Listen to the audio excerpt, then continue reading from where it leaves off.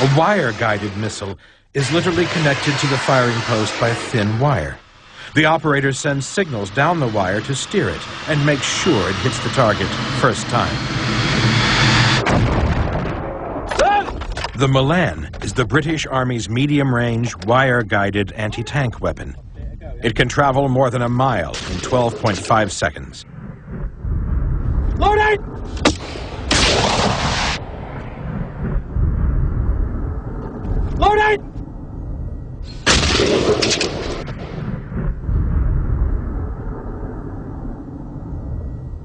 The American TOW missile has a longer range of over two miles. Its warhead can smash through 32 inches of armor.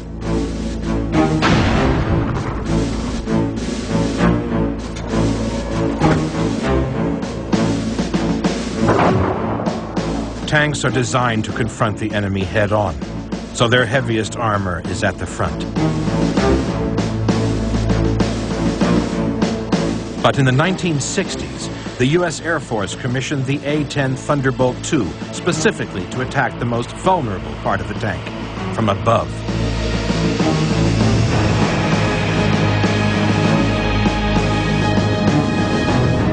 The Gatling gun of the A-10 is capable of 4,000 rounds a minute. It fires armor-piercing bullets with a core of depleted uranium, which increases the force on impact.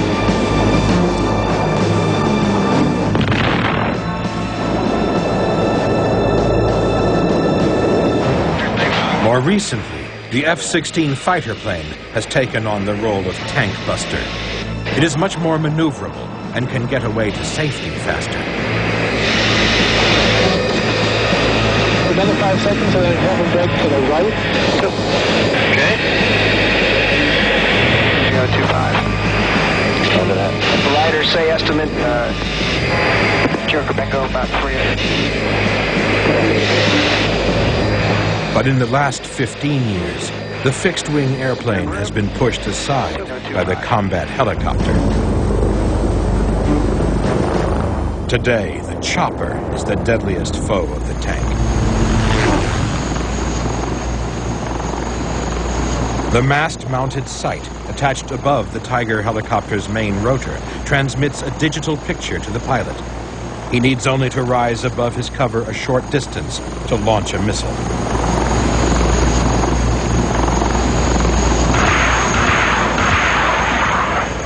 Armed with Hellfire missiles, the Apache is America's main tank buster. The Hellfires are fire and forget weapons, which can fly up to three and a half miles to their targets. They are guided by a laser in the Apache's nose.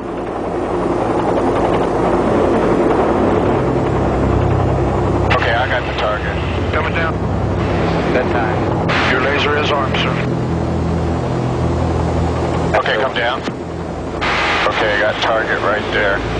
Roger. Let me go. Good Hellfire. On your history, pal. It's a new target. We got somebody on the ground. We just got killed. For uh, handoff. I'm gonna see if I can get him to come back. Spot gun. Okay, I think this is it. And team two will be covering egress from Toronto. Load six one. I got eight left. Use them on this egress. And Salvo, Salvo. Team two fire. Roger, you're not using it. What's on this one? Nice shot, Ford. Three, two, one. Fire. Three is They're going, sir. We're out of here. The very latest smart missiles can make their own decisions. Using onboard radar, they can identify specific targets, track them, and then destroy them. Now there is no hiding place for even the most sophisticated tank.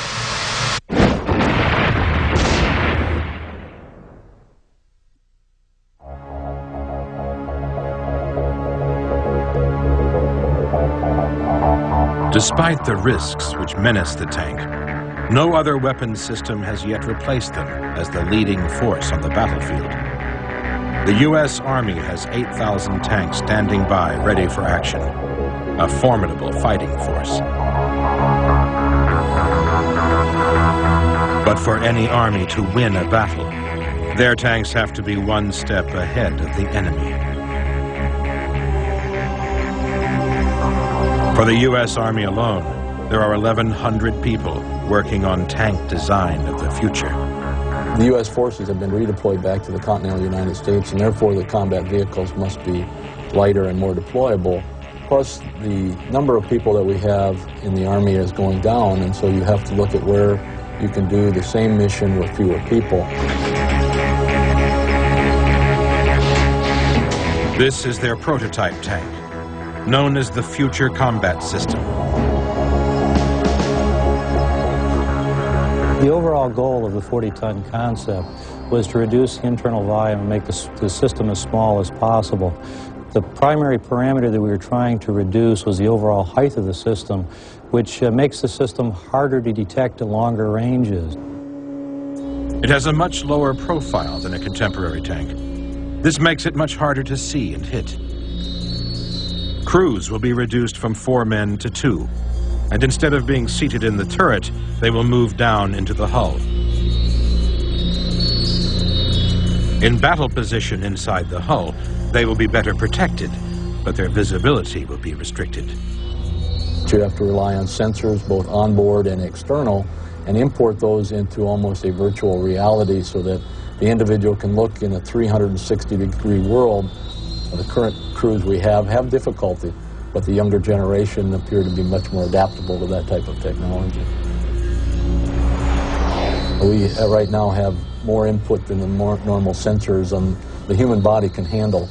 Uh, we would like to automate some of those, and he then applies what the human does best, which is decision making. Do I shoot, don't I? Do I fight, don't I? how can I best stay alive and how can I best save my friends. The new lighter tank will have improved stealth technology to increase its chances of survival.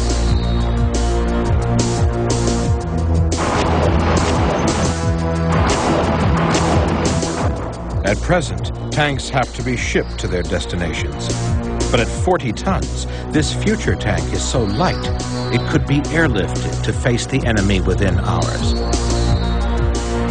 Every tank commander is keen to get his hands on this latest technology.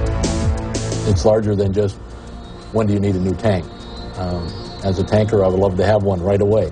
Realistically, it probably uh, will be quite some time before we see another a revolution in the design.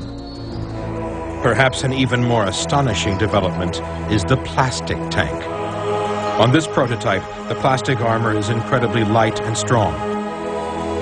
This tank is undergoing tests to investigate whether this lightweight armor will stand up to the rigors of battle. This tank could even be parachuted out of a plane. This type of technological breakthrough ensures that the tank will remain a major fighting force well into the next millennium. The thought of being able to take and apply technology to increase the protection level and the survivability of the soldiers is very exciting. It is something that I think everyone's desire is to put the best equipment in the hands of the best soldiers in the world. Uh, that's, what it, that's what we're here for, that's what we want to do, and that's the whole goal of future combat systems.